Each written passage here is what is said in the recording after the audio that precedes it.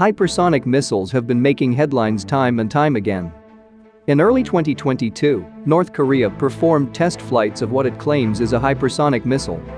Although dismissed by defense analysts as a maneuverable re-entry vehicle rather than a true hypersonic weapon, these missiles made headlines again when Russia asserted that it used a hypersonic missile against a Ukrainian arms depot. Describing them as game changers, multiple countries are investing considerable efforts to develop hypersonic weapons. So, why is this the case? What exactly are hypersonic weapons, and do they really pose a significant threat to global security? Find out in this week's episode of Explained. In order to understand hypersonic weapons, we first have to understand what it means for a vehicle to be hypersonic. In aerodynamics, something can be described as hypersonic if it flies much faster than the speed of sound. Five times faster or about 6,200 kilometers per hour to be exact.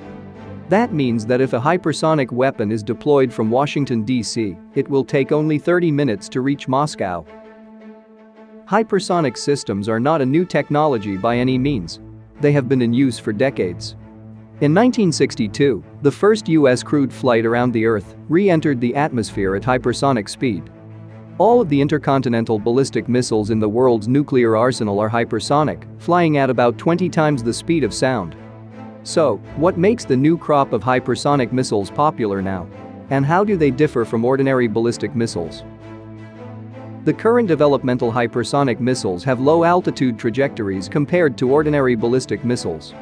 They are also slower than ICBMs, but are highly maneuverable and are able to change course during flight. This is what makes them a terrifying challenge for air defense. Flying at low altitudes makes them hard to detect, and unlike ICBMs, their flight paths are incredibly difficult to track. But how do they actually work?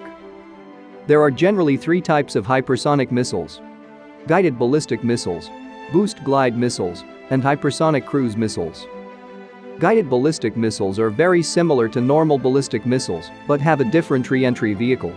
The re-entry vehicle that carries the warhead back into the atmosphere after the launch has steering fins attached to it that guide the missile to the target. Boost glide weapons also have some similarities with ballistic missiles. They are propelled to very high speeds by rockets just like ballistic missiles, but they re-enter the atmosphere shortly after launch and rely on aerodynamic lift to stay aloft for thousands of kilometers without the use of an engine before hitting the target. Both guided ballistic missiles and boost glide weapons are already in service, with new variants on the way. Hypersonic cruise missiles are the most advanced out of the three types. They are completely powered by an engine throughout their flight. To keep flying at such high speeds over long distances, hypersonic cruise missiles use a special scramjet engine. The speed of the missile itself forces air into the engine where it combusts to achieve supersonic speeds. Hypersonic cruise missiles are largely still in the works. The US, China, and Russia are all conducting research into them, but only Russia appears to be close to deploying one.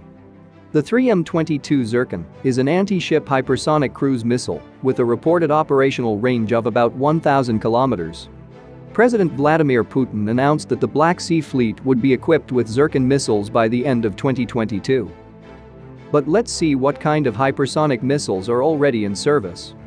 Russia's Avangard hypersonic boost glide vehicle entered service in 2019 as one of the six new strategic weapons. The glider reportedly re-enters the atmosphere 20 times the speed of sound, and as a strategic weapon, it is designed to deliver nuclear warheads against the US. Launched from an aircraft, the Kinzhal, a guided ballistic missile, travels less than half the speed of the Avangard, with a reported range of around 2,000 kilometers. Earlier this year, Russia claimed to have deployed three Kinzhal hypersonic missiles against Ukrainian targets. China has several guided ballistic missiles in its arsenal, the DF-26 can travel about 4,000 kilometers and re-enters the atmosphere at 10 times the speed of sound. It can carry both conventional and nuclear warheads.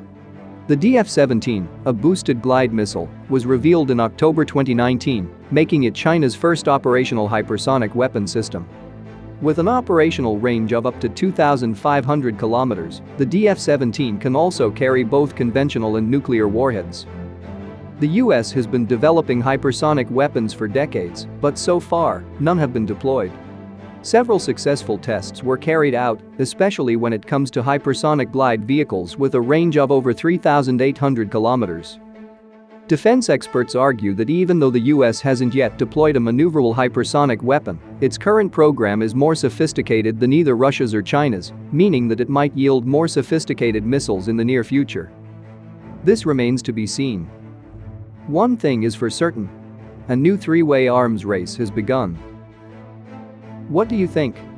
We would love to hear your thoughts on the new arms race, so be sure to leave us a comment. And if you enjoyed this video, give it a thumbs up and of course don't forget to subscribe to our channel for more videos like this.